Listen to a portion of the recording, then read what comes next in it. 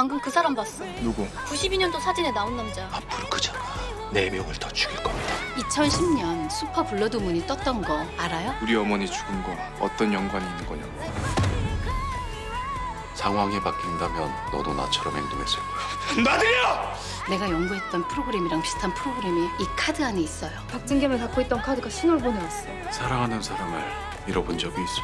당신 정체가 뭐야?